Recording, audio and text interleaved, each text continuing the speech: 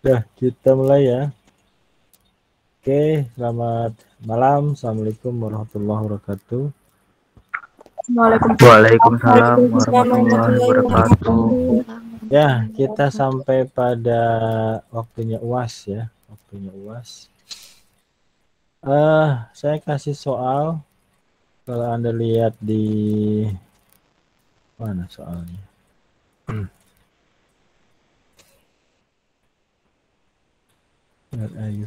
Ya. Kalau Anda lihat ya, saya uh, bikin ini seperti yang saya sampaikan di awal-awal. Ini akan menjadi UAS kelompok ya. Pak, saya pengen ngerjainnya seorang, Pak. Ya, silahkan ya. Nanti kelompoknya masing-masing maksimal tiga mahasiswa ya. Kemudian untuk setiap part ya, Anda harus menjelaskan menggunakan video gitu ya. Nah, suara terdengar dengan jelas dan terlihat ya. Setiap mahasiswa harus memiliki peran untuk menjawab soal UAS gitu ya. Jadi nanti uh, nilainya dari uh, apa namanya? Anda menjawab UASnya. Jadi kalau tiga kelompok tapi yang jawab cuma dua yang satu orang berarti nggak dapat nilai gitu ya. Uh, penjelasan harus sedetail mungkin dan untuk part 3 anda harus membuat dan men-setting setiap widget yang digunakan secara live gitu ya. Waktunya bukan malam ini Mbak Linda, saya kasih waktu 10 hari. Ya, 10 hari. Kenapa 10 hari? Kelompoknya nggak ada yang uas malam gimana Pak? Aduh. Ya kamu kerjain sendiri aja lah. Enggak, Kalinda tenang aja sama aku. Kelompok Oh. aku juga uasnya pagi semua. Sedih oke. banget. Ah, banyaknya ikut pagi ya nggak apa-apa. Ya, ah di sini ada tiga part ya. Di sini ada ada tiga. Tadi waktunya 10 hari ya. Anda upload di YouTube, kemudian linknya taruh di LMS. Ah, part 1 ini review jurnal ya. Eh, kalau udah dapat ya syukur. kemudian nanti cari temanya tentang classification ya. Kemudian algoritmanya ya tentang uh, naik bias sama decision tree aja dua ini. Karena ada dua jurnal berarti dua uh, algoritma yang berbeda. Nanti ini Anda bahas uh, Anda bikin PPT lah ya. Anda bikin PPT kemudian di record penjelasannya, presentasinya. Ya, ini uh, yang dulu kalau yang pagi UTS-nya presentasi katanya ya. Saya nggak sampai sana. Ada apa ini? Kenapa Mas Rivaldi meminta untuk bergabung?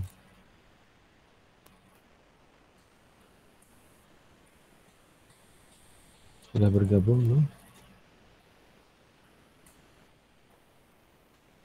Mana Mas Rivaldi? Alat akhir. Alat pipa akhir ditulis siapa ini? Oke, ah nggak masalah biasanya juga banyak. Ah, ya kita lanjut. Cicil mit. Hahaha. Mana dia? Belum masuk ya? Udah diklik belum itu tadi?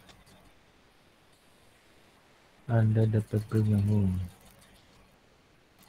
Hmm. Oke, coba lagi Mas Agus.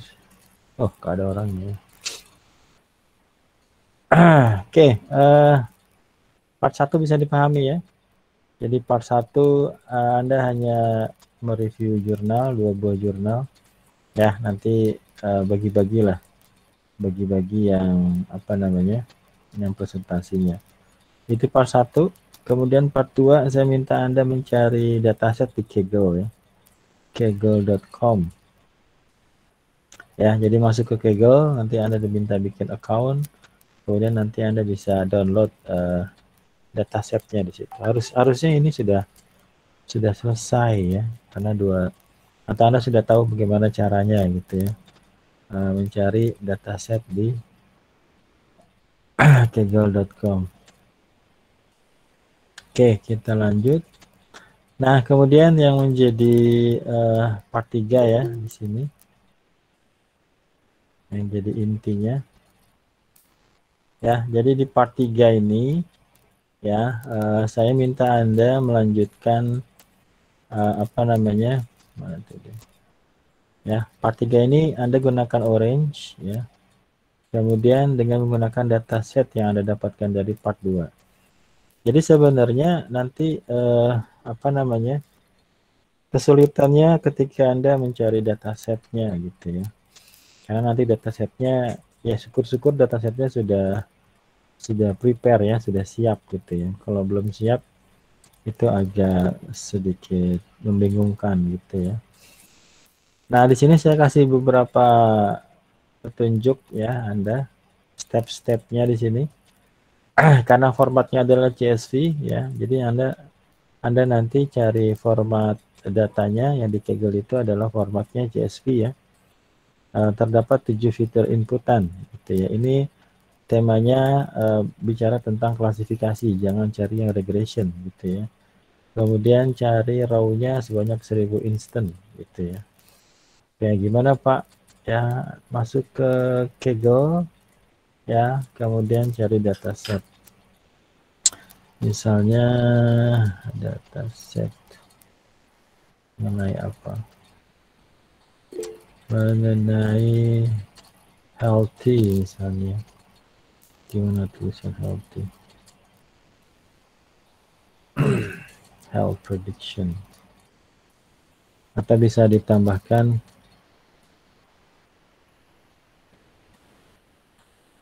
Suaranya masih kurang besar. Coba kita polling. Oke. Mana dia? Settingan soundnya. Settingan soundnya udah maksimal semua. Sudah maksimal semua. Ya, mungkin suara saya aja yang kecil. Ya, Oke, okay, uh, eh, gimana tadi? ya, jadi di part 3 ini saya kasih guidance-nya. Yang pertama, uh, Anda cari uh, file dataset di kegel.com. Jadi Anda buka kegel.com, kemudian cari uh, ini, ini bisa aja nanti tambahkan misalnya classification gitu ya. Classification kayak gitu. Ya, nanti dia muncul di sini. Health Insurance Marketplace, ya, Heritage Health Price, Mental Search Impact Survey, Machine Learning for Mental Health, gitu ya. Health Analysis, ya, banyak lah. Kayak gitu. Ini tipenya bisa tentukan ya. Tipenya bisa tentukan. CSV. Kemudian data size-nya misalnya kita pakai medium kemudian kita pakai classification ya. Ya ini ada brain tumor nih. Ada SCG heart rate categorization dataset uh, mobile human mobile health human behavior analysis. Ini menarik ada seperti ini ya nanti ada detailnya seperti apa. Ya nah ini dia nih. Oke nanti ada mental health ini. Oke nah di sini kita bisa lihat. Oke tapi yang penting adalah kita harus download ya. Download. Nah download ini harus ini dulu ya. Harus uh, login dulu harus bikin account dulu. Seperti itu Nah, nanti yang jadi masalah adalah Anda harus memahami apa namanya datanya. Ini saya lihatin ya. Tadi saya, saya bicara tentang apa? Mobile health, uh, mobile health human behavior analysis ya. Punyanya orang India ini. Oke, kalau kita sudah download, mana dia datanya? Ini ya. Ini datanya. Oke, coba kita ekstrak. ekstrak datanya. Extract. Oke. Ya. Uh, close. Mana dia? Ini ya. Oke, kita lihat. Open with other application, text editor. Ya, jadi pertama itu Anda harus memahami uh, format dari datasetnya, dari CSV-nya gitu ya. Nah, seperti ini. Ya, di sini ada uh, kolom ALX, ALY, ALZ macam-macam activity subject gitu ya. Kemudian ini data-datanya nih. Nah, di sini dia membedakan data satu dengan data yang lain pakai koma di sini. Ya, dia pakai koma. Nah, kalau ini kita jadikan inputan berapa data ini? Datanya banyak ya. Ada 54.000. Oke, okay. uh, activity subject. Oke. Okay. Kalau saya buka di orange ya. Oke. Okay. Bikin new aja. Oke, okay. kita karena kita bikinnya pakai CSV ya. Kita buka pakai widget ini aja. Oke, kita double klik, kemudian kita arahkan ke mana tadi? Come on. Dia. Ini apa nama? Oke, date modify. Ini ya, oke. Kan? Nah, nanti ketika di sini ada import option ya, ada import option. Nah, Cell delimiter itu adalah yang tadi tuh. Cell delimiter adalah yang mana tadi? Uh, mana tadi file? Nih ya, ini adalah ya me, memisahkan antara satu data dengan data yang lain. Ya, saya panggil lagi. Jadi nanti Anda atur di sini koma Style delimiternya itu tergantung dari datanya. Kalau data, jadi Anda harus buka dulu filenya, ya. Oke, kalau encodingnya biasanya uh, sudah default lah, udah kebaca sama sama apa namanya orange-nya ya. Ini yang tentukan apakah semicolon, space, uh, kita pakai yang koma ya, sesuai dengan CSV-nya ya. Tapi tidak semua CSV ya koma, ada juga titik koma gitu ya. Oke. Someone. Ya, oke, kita lanjutkan. Ya, jadi pertama Anda harus cari dulu filenya, dan itu nggak mudah ya. Kadang-kadang datanya tidak hanya numerik, ada juga data yang kategorikal. Ini saya coba lagi, masukkan. Ini kebetulan saya dapat datanya seperti ini ya. Ini kalau quote karakter dia kalau ada data string gitu ya, dia pakainya double quote seperti ini. Pilihan lain bisa single quote ya. Oke. Nanti Anda harus lihat dulu tuh di datanya. Nah, kemudian nanti di sini ada tipe-tipe dari tipe-tipe dari apa namanya uh, kolom yang digunakan. Ya, kalau Anda lihat di sini dia auto ya, ini auto semua auto detect ya. Tapi kalau misalnya Anda pengen tentukan, Anda bisa bilang ini adalah numerik gitu ya.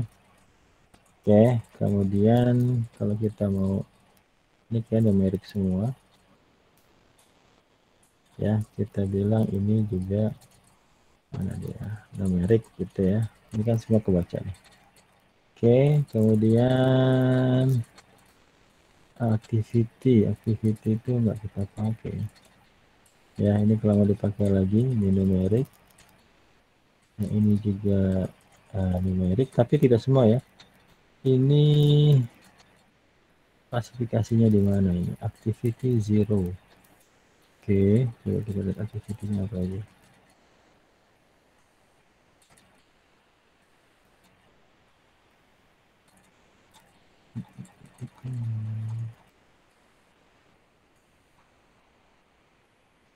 Ya, coba kita lihat informasi dari Kegel-nya ya. Uh, mobile ini ada kesimpulannya. detail ya di sini ada ya uh, di sini ada uh, attribute information ya. Ini ada LX after relation from the in cost sensor. Ini ngambil data dari sensor ya. IoT ini. ALY Grivo ya. Kemudian ini volunteer number ya. Chorus activity corresponding activity. Tapi kok saya nggak lihat ada apa namanya klasifikasinya ya ya kalau nggak ada kita cari tempat lain kolom ya kita lihat Ayo om, ayo om. Ya ini dia. Hmm. Ini data dari sensor semua ini.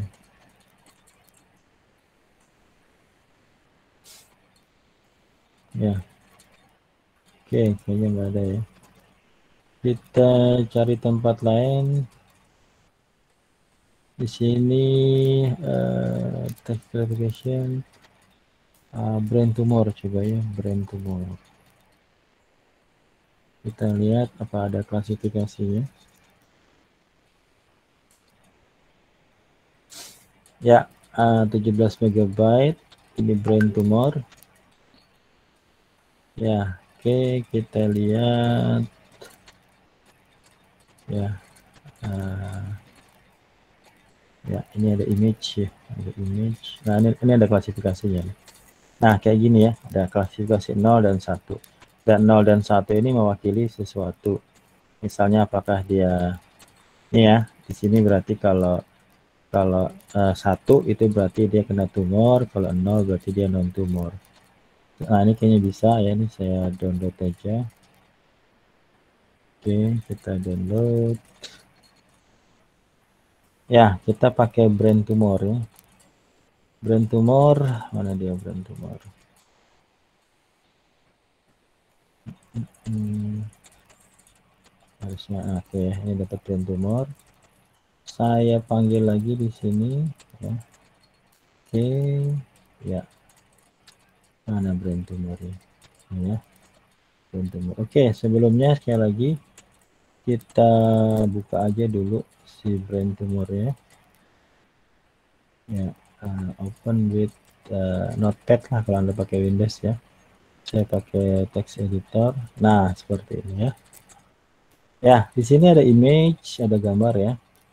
Ini ada klasifikasinya 0101 dan di sini macam-macam uh, fiturnya ada min ada varians ya ini diambil dari image-nya ya.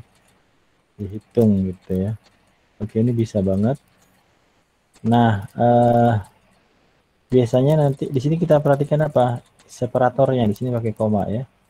Oke jadi sekali lagi kalau kita udah dapat datanya kemudian kita uh, panggil pakai CSV widget CSV file import. Kita panggil di sini brain tumor. Nah di sini kita pakai koma ya. Kita pakai koma. Kemudian tadi kelihatan nggak dia pakai apa? Nah, ini saya buka nggak? Tutup lagi. Open with other application.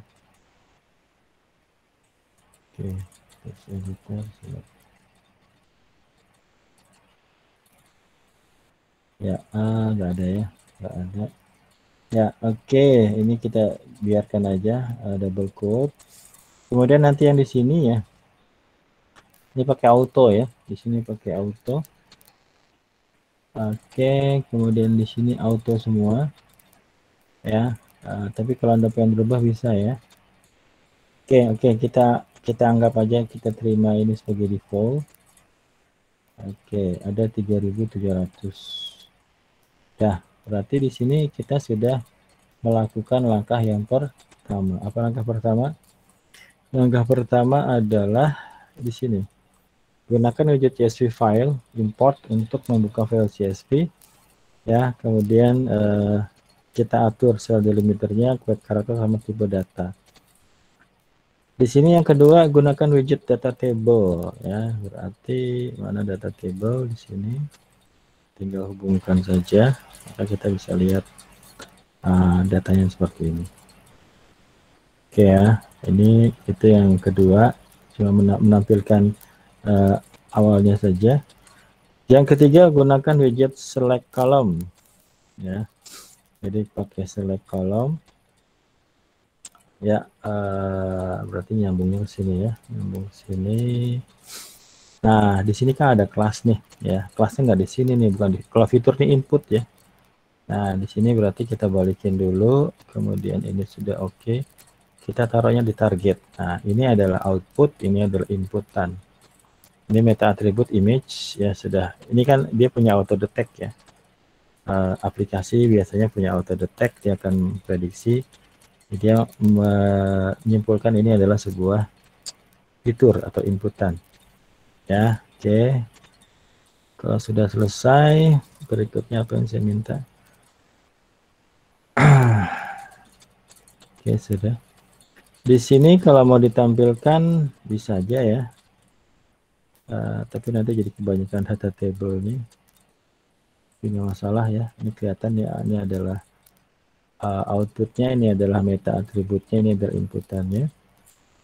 Kemudian habis itu apa? Gunakan widget kolom. Kemudian di sini ada proses uh, pre-process ya. Pre-process untuk melakukan normalize. Sebenarnya banyak proses pre-process tapi ini yang saya minta anda normalize. Normalize itu berarti nanti eh, setiap datanya, kalau kita lihat data di sini, ini datanya beda-beda nih, eh, apa namanya, ukurannya. Katakan ini adalah satuan ya, ini adalah ratusan gitu ya. Oke, ini ada bahkan 0, gitu ya. Nah, kita bikin format datanya dia memiliki eh, range yang sama gitu ya. Maka kita gunakan uh, pre-process ya preprocessing kita gabungkan aja di sini preprocess itu banyak ya nah preprocess ini ini kalau kita lihat di sini macam-macam ya yang kita gunakan yang yang uh, normalize fitur. Kemudian kita kita bikin di sini ada, ada macamnya lagi. Ya uh, yang kita gunakan yang ini normalize uh, interval 0 sampai 1 kalau sudah ya kalau sudah kita bisa tampilkan datanya sebenarnya. Nah, apa kita tabel lagi ya.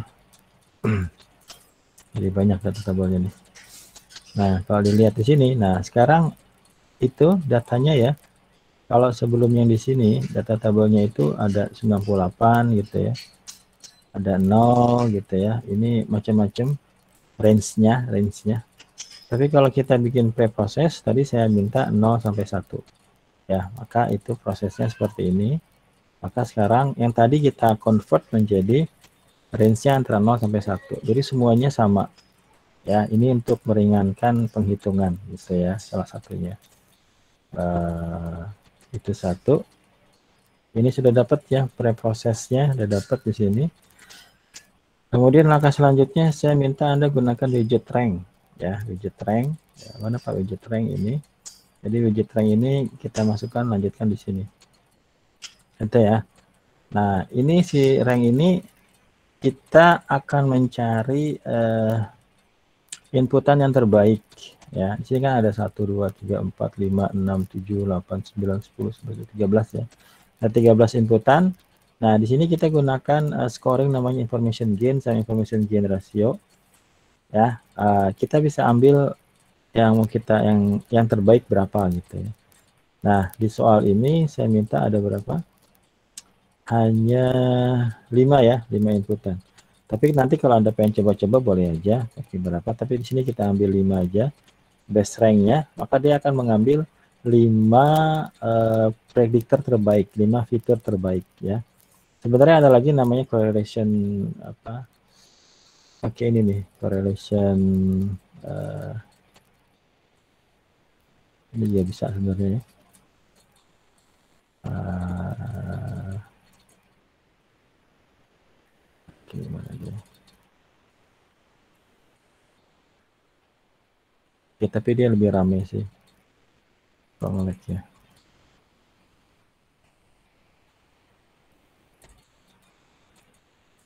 Jangan-jangan putus nih.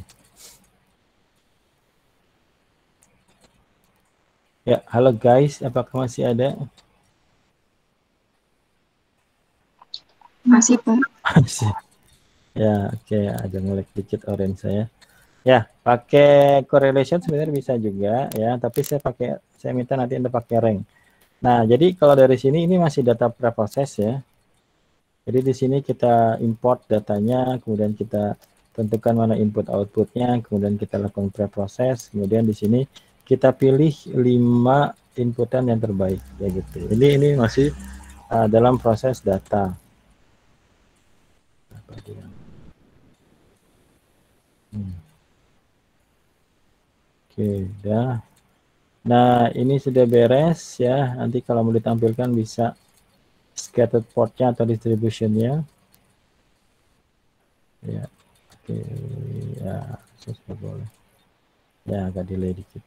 Ya, jadi di sini eh, kalau data table-nya cuma menampilkan aja ya. Jadi ada beberapa data table. Oke, jadi di sini ini adalah file mentahannya. Seperti ini, Anda bisa import optionnya di sini. Kemudian kalau mau lihat uh, data tabelnya seperti ini ya. Kemudian saya bikin select column ya. Di sini tentukan mana inputannya, mana outputnya, sama atributnya. Ya, kadang-kadang auto detect bekerja dengan baik, tapi kadang-kadang auto detect juga kayak tadi ya, uh, dia agak error gitu. Kemudian ini kalau mau dilihat sudah benar. uh, ada preproses tadi ya. Saya minta anda hanya melakukan normalize fitur saja. Banyak sebenarnya preproses ya. Ada impute ya. impute ini kalau jumlah uh, datanya tidak seimbang ya. Ini tesisnya Mbak Deti tentang impute missing value ya. Kemudian ada normalize the interval di sini ya. Jadi datanya kita ubah. Jadi di sini sebenarnya kita masih mempersiapkan data ya sampai di sini kita memilih uh, kita memilih lima data paling baik berdasarkan information gain sama information gain ratio. Ini kalau mau dibahas, ini ada uh, temanya tentang decision tree di sini ya. Bagaimana kita mendapatkan informasi dari masing-masing uh, fitur atau inputan ya. Maka kita lihat di sini ada nilai paling besar gitu ya. Nah, kalau sudah seperti ini udah siap nih, udah siap masuk kepada modelingnya gitu ya. Kemudian uh, yang di part di part visualization saya minta cuma dua aja scattered pattern, scattered plot ya, sama widget distribution. Jadi Anda bisa tampilkan scatterednya di sini. Oke, nanti kelihatan di sini ya. Ah, ini kan udah bagus nih. Kenapa ini bagus? Karena kita sudah melakukan proses rank di sini. Ya, jadi kalau kita lihat di sini ini ada polanya nih. Ya, antara uh, variabel inputan entropi dan energi ya. Uh, ini ini dua tipe kelasnya ya, sudah sudah bisa dilihat lah. Walaupun ini agak sedikit Nah, seperti ini ya. Ini tapi ini udah bisa kita lihat lah. Ini adalah yang katakanlah yang tidak kena cancer, ini yang kena sensor gitu ya. Atau terbalik ini yang cancer yang tidak cancer gitu ya sesuai dengan definisinya. Ini juga datanya. Ya, ini adalah distribusi datanya ya. Jadi tadi eh, kalau saya mau jelaskan, tadi kita awalnya punya 13 inputan di sini. Ya, ini, ini data awalnya. Kemudian data awalnya ini kita pilih mana input mana outputnya. Kemudian kita lakukan preproses ya. Kita normalize sehingga datanya uh, mempunyai interval yang sama ya. Kemudian kalau mau ditampilkan ini datanya sudah sudah dalam range yang sama ya. Kemudian kita lakukan widget rank. Nah widget rank ini bisa aja kita ambil nggak 5 kita ambil 8 gitu ya. Nah kayak gini. Ya 8 yang terbaik ya dari uh, data yang ada. Maka nanti di sini kalau kita lihat ya di sini ada ada 8 nanti nah ini adalah apa namanya hubungan antara satu inputan dengan input yang lain ini datanya Tadi kita lihat kita katakan satu adalah uh, tumor yang nol tidak ya. Jadi kalau kita lihat di sini ini adalah data energinya nih. Tadi kita sudah bikin dia intervalnya 0 sampai 1, 0 sampai 1. Ini data distribusinya di sini. Ini adalah klasifikasi pertama, ini adalah klasifikasi kedua. Seperti itu. Ya. Ini kenapa bisa bagus? Ya karena kita sudah pilihin gitu ya. Kita sudah pilihin dan tadi yang terbaik itu adalah yang entropi. Entropi information. Jadi kalau entropi sama energi coba kita lihat. Entropi sama energi. Nah, ini yang pertama ya. Nah, ini kan bagus sekali. Tapi kalau mau dilihat di sini juga bisa nih. Ah, itu dia. Ah. Oke, ini masing-masing ininya ya. Masing-masing uh, plotnya. Jadi gimana caranya Pak? Uh, kita find information projection. Kemudian nanti kita apa tadi start gitu ya. Maka ini nilai ininya nih. Uh, skor plotnya lah kayak gitu ya udah selesai kemudian satu lagi saya minta anda memperlihatkan grafik distribusi oke kalau dia nggak ada masalah dia bisa tampil nah ini adalah kalau kita lihat ya ini adalah distribusi data ya. Uh, kita tahu tadi kalau satu ini adalah yang cancer yang nol ini yang tidak cancer. Ini datanya nih distribusinya nih. Berarti ini, ini nilai rata-ratanya. Ini nilai rata-ratanya. Berarti dia sudah terpisah gitu ya. Ini juga sama.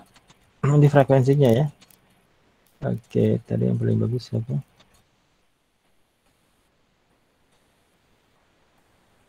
Ah, ini bagus nih.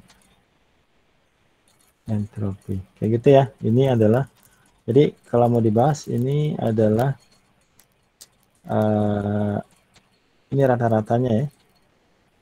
Ini adalah standar deviasinya. Ini rata-rata, sorry. Ini rata-rata ini standar deviasi. Ini dari yang uh, data yang tidak cancer, ini data cancer gitu ya. Ini ini statistik uh, pembahasannya. Kalau sudah, ini sudah menjawab uh, yang data tadi, sudah selesai. Nah, di part 2 sorry, ini sudah A sama B ya. Di part C sama D ini ada beberapa pilihan cara ya. Saya minta Anda menggunakan naive bias, tree, logistic regression, SPM sama random forest. Kemudian nanti digabung dengan uh, ada test score sama confusion metric sama prediction. Ya. Cara pertama Anda bisa melakukan seperti ini misalnya. Uh, Nah, langkahnya seperti ini ya. Kalau seperti ini, kita uh, di sini nanti ada ada cross validation, tapi nanti kita panggil semua kita panggil semua model akan kita gunakan di sini.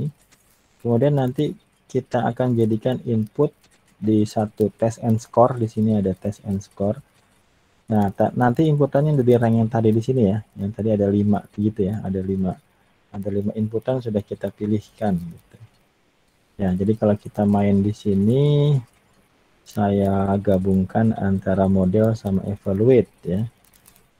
Oke, jadi sorry, sorry, sorry. Saya ambil di sini. Ya, ini inputannya satu. Kemudian nanti kita gabung dengan ini yang pertama ya, ini yang pertama. Uh, misalnya kita pakai naik bias, tinggal ditarik, dia ngitung tuh yang hitung kemudian pakai decision tree ya. Kemudian nah abaikannya kemudian saya pakai logistic regression. Yang sudah saya bahas detail yang naik bias ya. Uh, kemudian saya pakai apalagi SPM SPM ini algoritma yang menang sebelum uh, neural network berkembang ya. Perkembangannya seperti itu. Satu lagi apa? Random forest. Nah kelima model ini dia punya settingan parameter namanya. Ya ini saya gabungkan ke sini semuanya. Ini ini ini option pertama. Option pertama oke. Nanti dia lagi ngitung nih.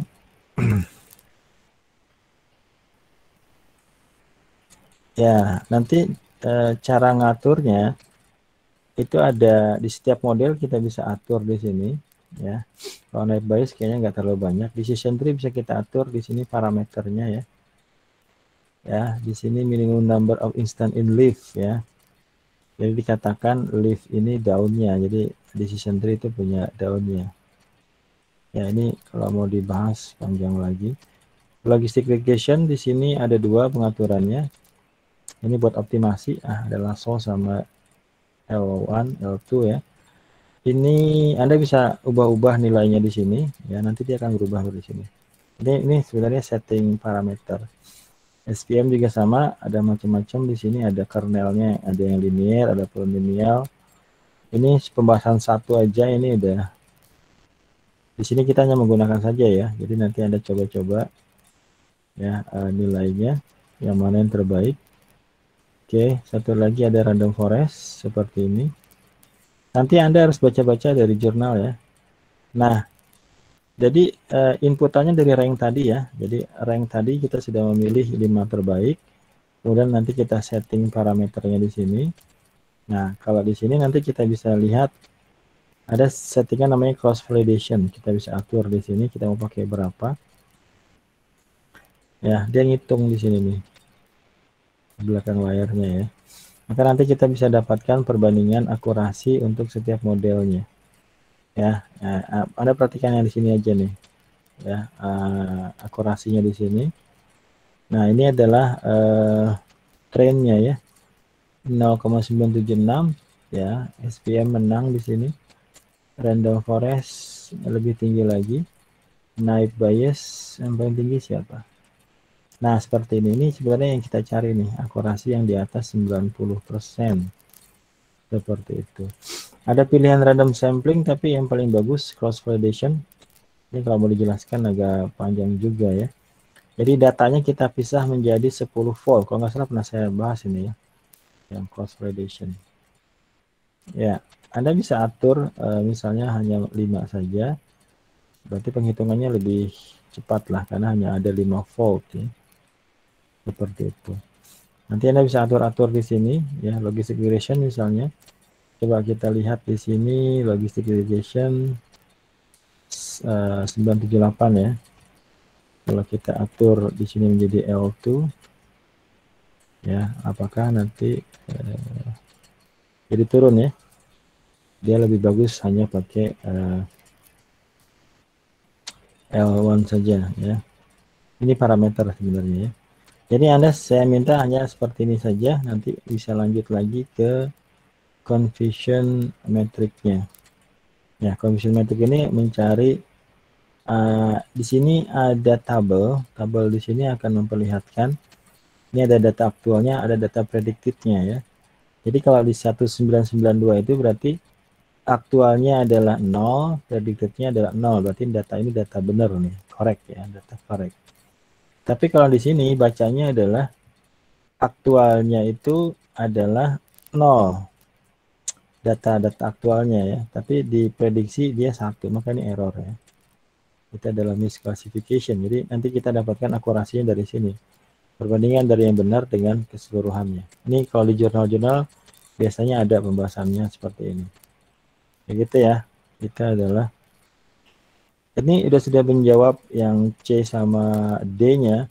Tapi untuk yang prediction, nah itu agak sedikit kalau kita gabung di sini agak sedikit rame ya. Uh, kalau yang prediction itu Anda harus pecah satu-satu.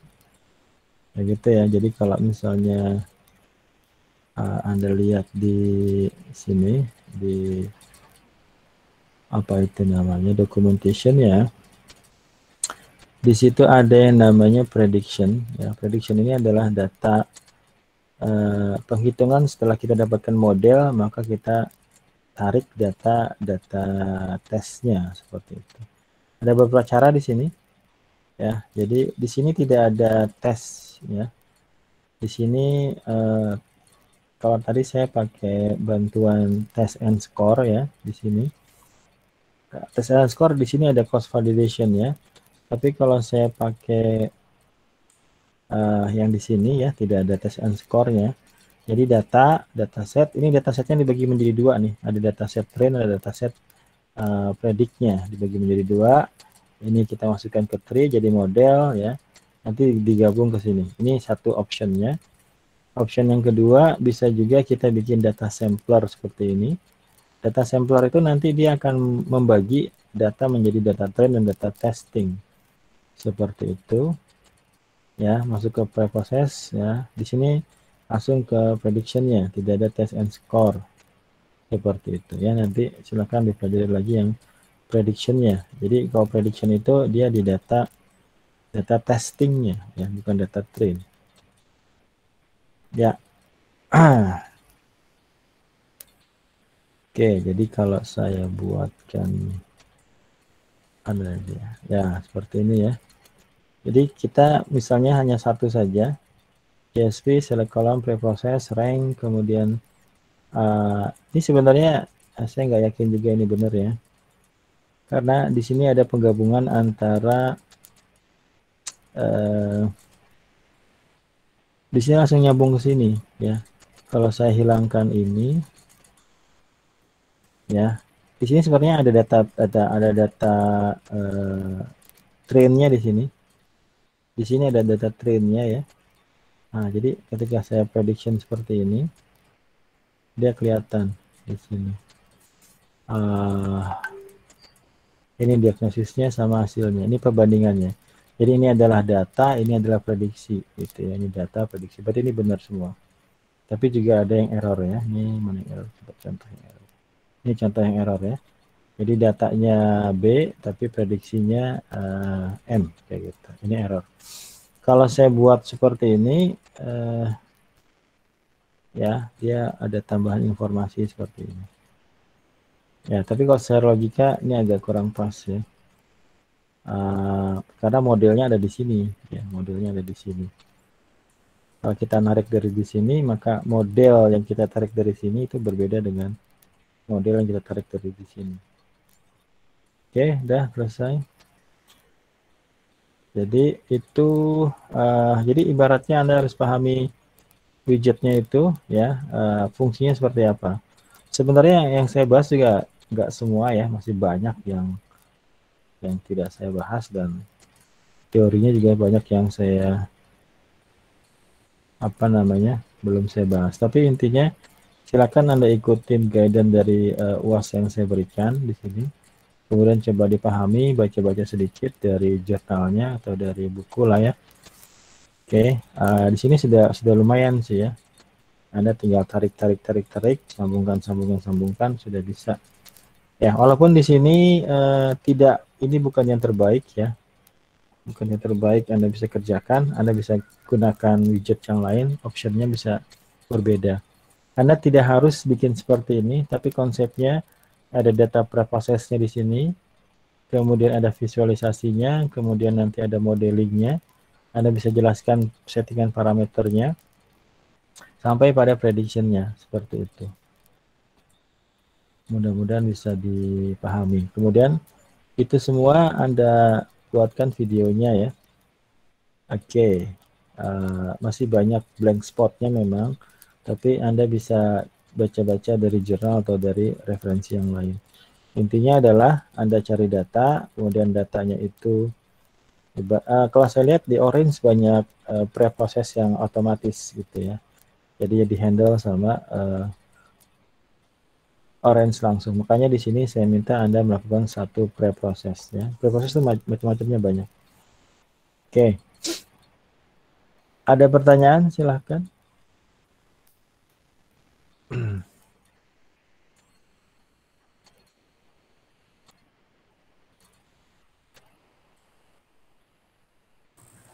Itu direkam sambil ngejelasin, Pak. Ya, direkam sambil ngejelasin. Jadi bikin widgetnya live. Ya, latihan aja dulu gitu ya, ini nyambung apa enggak gitu. Siapa tadi? Mas Agus. Saya udah buat dapat classification tapi nggak sampai seribu. Berapa, Mas? 300-an lah. Hah? 300, Pak.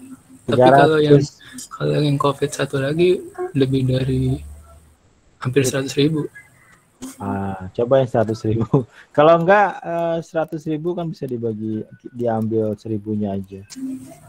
Walaupun nah, sebenarnya saya bingung dia dia regression atau classification. Ya makanya harus cari yang kayak tadi ya harus ada. Uh, kalau biasanya di Kegelnya nanti ada ada keterangannya seperti tadi ya. Di sini ada kelas. Nah kalau ada uh, kalau ada kelas seperti ini, ini target value itu. Nah ini pasti klasifikasi mas kayak gitu carinya seperti itu. Ya, saya minta Anda mulai dari mencari data sampai pada load data, kemudian preproses gitu ya. Dengan bantuan Orange, walaupun banyak yang kita nggak paham, tapi seenggaknya dapat akurasi yang tinggi. Itu udah, udah lumayan lah ya, nanti bisa didetailkan lagi di mata kuliah selanjutnya. Pak, boleh minta koreksi nggak Pak? Boleh minta? koreksi. Oke, oke boleh. Ya, silakan. Mas siapa? Mas Agus. Oke.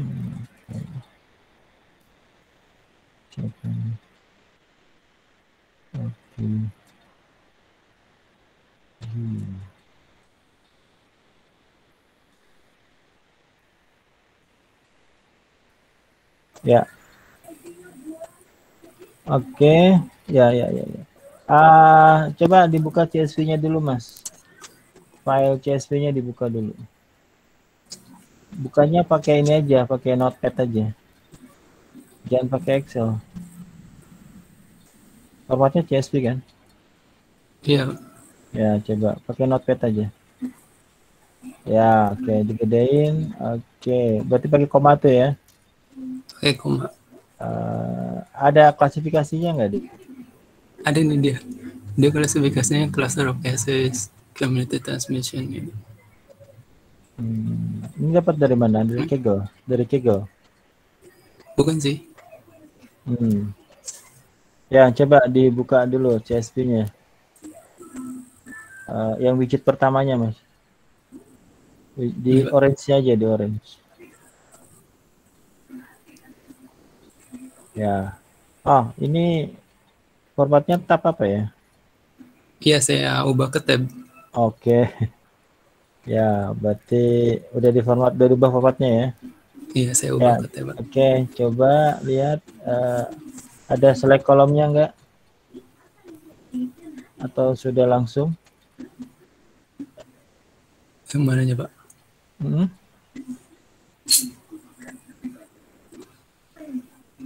Maksudnya Pak? Enggak, enggak. Ini di... Uh, coba lanjutnya apa lanjutnya? Habis dari sini ke mana? Ya, oke. Okay. Uh, outputnya itu ya? Ya, outputnya transmission classification. Oke. Okay. Ya, oke okay, lanjut. Uh, langsung ke tree. Eh, saya, saya, saya sih baru itunya kayak gini Pak.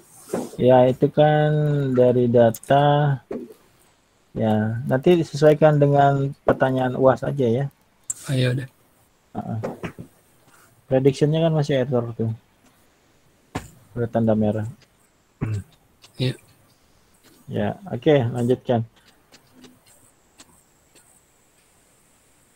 Siapa yang sudah dapat datasetnya? Waktunya 10 hari ya. Nanti kalau misalnya Anda pengen nanya-nanya, uh, nanti saya kasih waktu kayak tadi lah, apa namanya, di share di Google Meet boleh lah. Ya, jadi uh, eh, 10 hari kayaknya cukup ya. 10 hari cukup, tinggal cari datanya, kemudian pahami CSV-nya, format dari datanya, kolom-kolomnya, pastikan dia klasifikasi. Ya, jadi uh, silahkan dikerjakan nanti kalau sudah coba ada masalah nanti saya kasih waktu uh, di Google Meet gitu ya buat sharing-sharing gitu ya.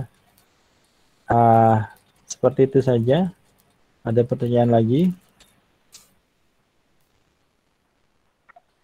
Bapak. Ya. Berarti antara jurnal yang kita pilih sama ya. dataset, misalkan alurnya berbeda, nggak apa-apa ya Pak?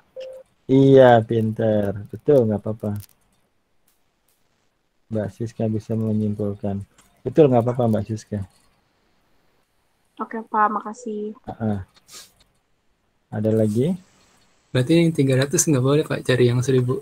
Ah, 300 itu kurang. Kalau kita pakai konsep populasi sampel, kalau kita ambil errornya 10% aja itu minimal 400. 400 data kayak gitu. 300 itu masih kurang sebenarnya. Itu itu tergantung Kalau ada- 500, Pak.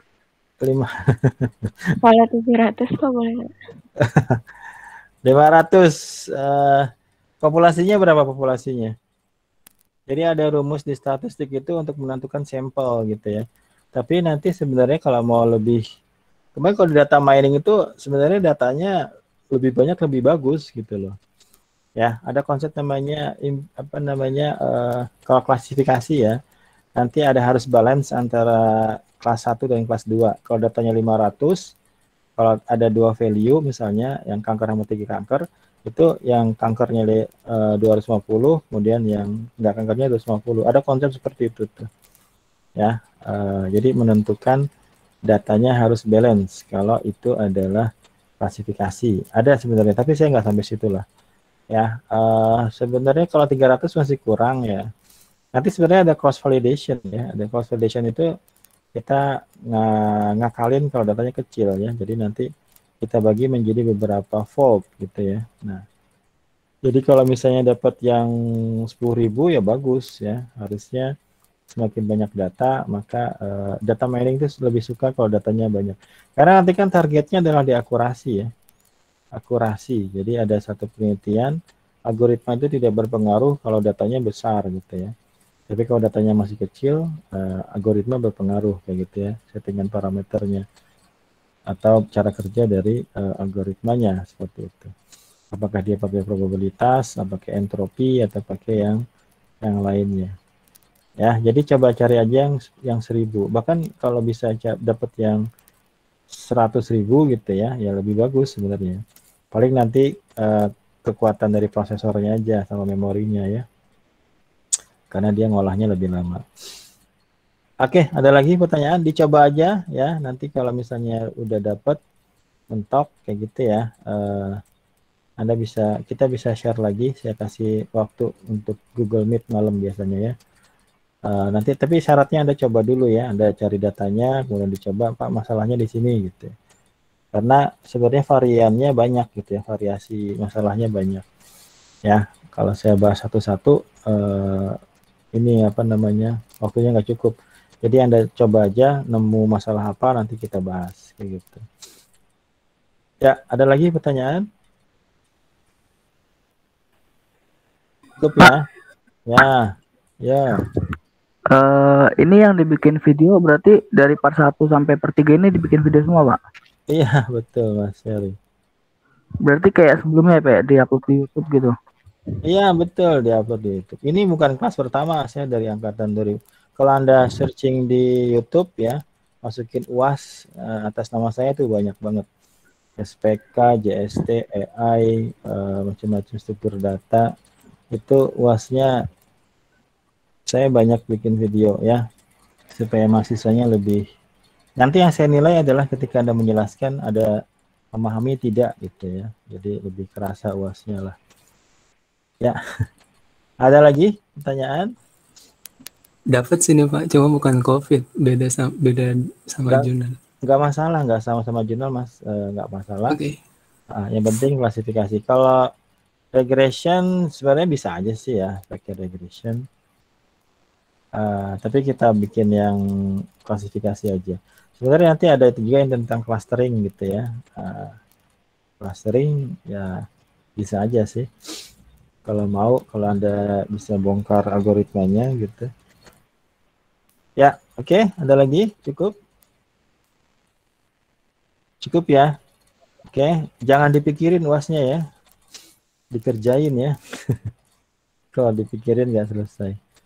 Ya, eh, silakan dicoba cari datanya, kemudian input ke ke orange-nya. Nanti kalau ada masalah bisa share lagi. Saya walaupun apa namanya 10 hari ini saya open lah ya. Nanti kalau misalnya Anda ada masalah nanti bisa kapan janjian kita bahas gitu ya.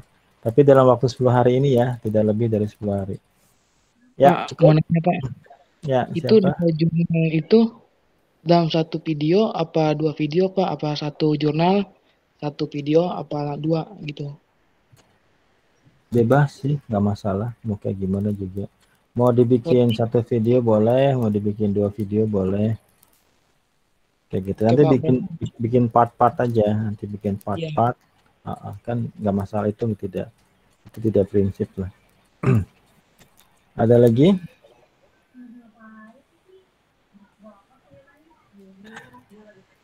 Oke, cukup ya. Silahkan Anda coba baca-baca jurnalnya, lihat korelasinya dengan hubungannya dengan orange.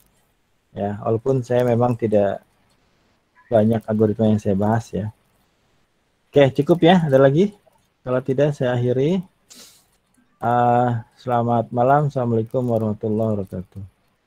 Waalaikumsalam. Waalaikumsalam warahmatullahi wabarakatuh. Terima kasih.